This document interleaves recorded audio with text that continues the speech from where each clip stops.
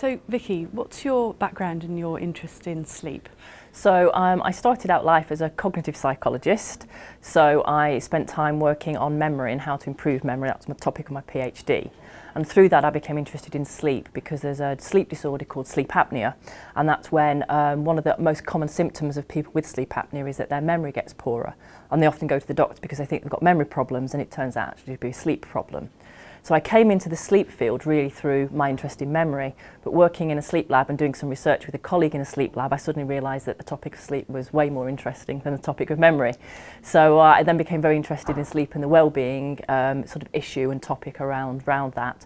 And about nine years ago, I moved from a traditional academic institution to a business school environment and realised that that topic of well-being and resilience, and particularly sleep, was so pertinent. Um, and so it went from there.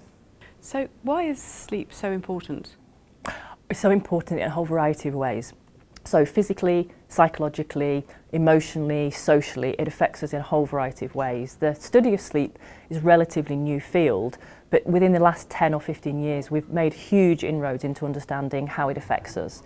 So it can affect us physically. We can be more likely to pick up low-lying bugs and germs, colds, stomach infections, those kinds of things very chronic sleep debt, so sleep debt that goes on for a number of years and is quite chronic, then that leads to much more significant and serious physical effects such as heart disease, stroke, general cardiovascular issues, type 2 diabetes, obesity, so really quite significant issues.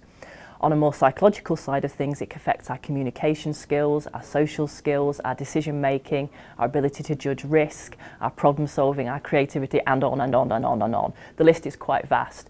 Basically it doesn't take long at all. Very poor sleep over a couple of nights and things start to fall down. High level decision making creativity problem solving. Over longer periods of time it can really start to affect us physically and then to the much more serious physical effects so what doesn't it affect is probably a better question. Okay. So how much sleep do i need? Ah very good question. It is hugely individual. A really good way of starting to think about it is the average healthy adult needs between roughly seven to eight hours a night. So that's a good starting point. But then, of course, it is individual. So you will have people who are very fit and healthy and happy to have less than seven or require more than eight. But as a good starting point, go for seven to eight.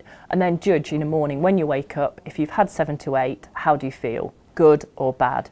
You should be waking up generally over a two week period, you should be waking up feeling refreshed. If you're saying you feel bad more frequently than good, and you're getting maybe seven hours, that's a suggestion that maybe you need slightly more than that. Um, if you're waking up after six and a half hours and feeling fantastic, it's a suggestion maybe you're one of those lucky people that needs less. But as a, as a rule of thumb, aim for around seven to eight hours. And if I'm a poor sleeper, what, what can I do about that? Okay, whole range of things. It depends why you're a poor sleeper. So there are things that are sort of maybe keeping you awake at night. So sort of cognitively procrastinating, going around things over and over again in your head. We all do that.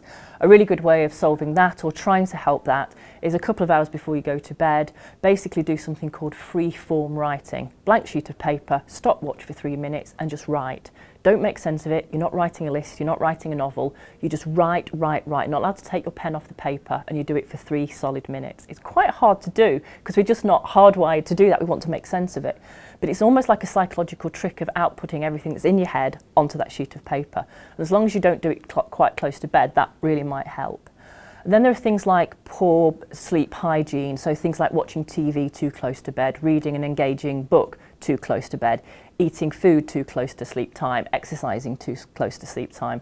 So again, the general rule of thumb is make sure that those kinds of activities you've got at least two hour gap before you go to bed. TV and books are okay, but they shouldn't be cognitively engaging because the minute you start to engage yourself cognitively, you're waking yourself up. Blue light, laptops, tablets, definite no-no, again, about two hours before bed.